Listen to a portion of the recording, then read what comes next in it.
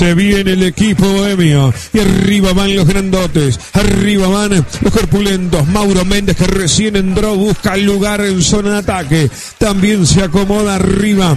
Y allí vienen los grandotes, por ejemplo, a ayudar en esta pelota quieta. Juan Felipe Aguirre en el equipo bohemio. Mano a mano los defensores con los de Wanderers. Uno defiende. Otros que van por el ataque. A ver qué pasa con esta. Va a haber tiro libre para Wander. Defiende defensor con dientes apretados. Recta final del partido. Ribeiro que va a dar la autorización. Sigue todo de cerca el árbitro. Allá va de la derecha al remate, el centro, al segundo palo. Golpe de cabeza. ¡Gol!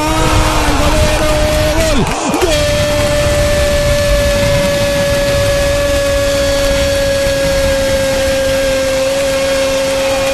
En contra para mí, ¿eh? ¡Gol!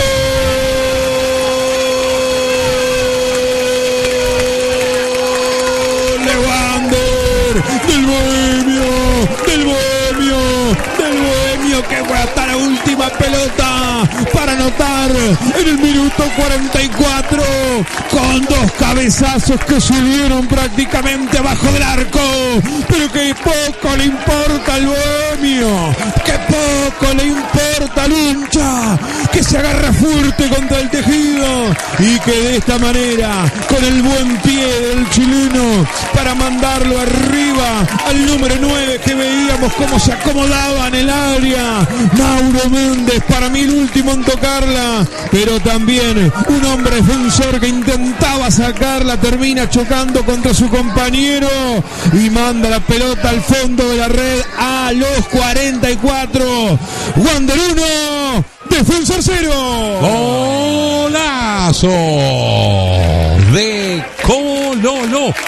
Cuánta polémica en el, en el gol, ¿no? Porque la verdad es que, eh, bueno, se queja todo el defensor Sporting, lo grita el conjunto bohemio, como muy bien relataba Pepe, es una jugada muy rápida además. El cabezazo de Mauro Méndez es limpito, y es el primer cabezazo, y uno después vio que hubo algo más allí en el área. Termina siendo gol en contra, todo el defensor Sporting jura que hubo falta, le están eh, rogando al árbitro del partido Ribeiro que pite la falta. Wander grita el gol, está parado Wander ya para esperar que saque. Y Defensor Sporting no quiere sacar porque jura que hubo falta de los eh, delanteros bohemios. Es un gol muy polémico, es un gol donde eh, lo necesario del VAR hubiese sido claro para, para aplicarlo. O sea, jugada muy rápida. El último en cabecear, para mí, del conjunto bohemio es Mauro Méndez. Pero después hubo otro cabezazo y perfectamente puede aplicar el gol en contra en caso de que se termine de validar. Fútbol por Carve.